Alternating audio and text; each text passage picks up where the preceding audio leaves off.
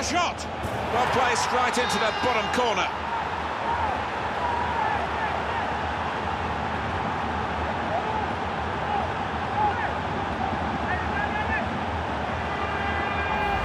A goal from Valbuena, and how he's found the bottom right from that distance out.